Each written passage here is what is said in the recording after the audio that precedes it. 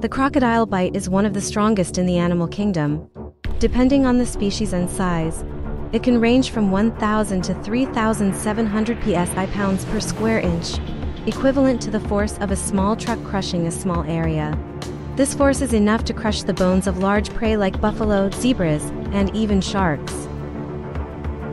Crocodiles, ancient reptiles that have existed for millions of years, never cease to amaze us with their strength and incredible adaptability.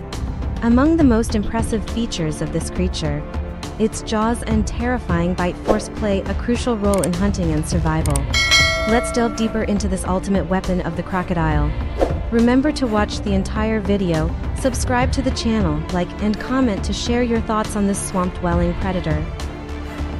Unique jaw structure, the crocodile jaw is a masterpiece of evolution, perfectly designed for hunting and self-defense.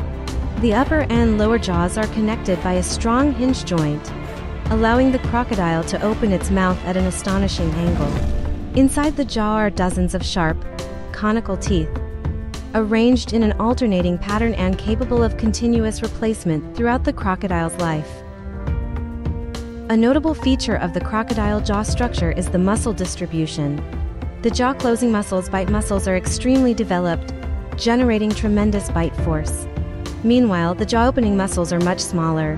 This explains why crocodiles can easily close their jaws but have difficulty opening them. Terrifying bite force crushing pressure.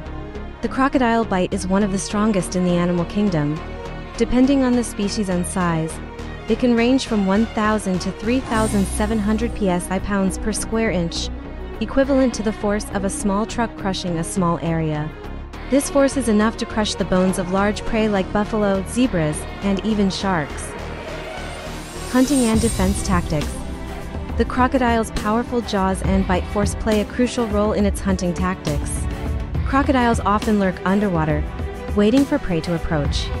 When the opportunity arises, they suddenly lunge, grabbing the prey with their sharp teeth and dragging it underwater.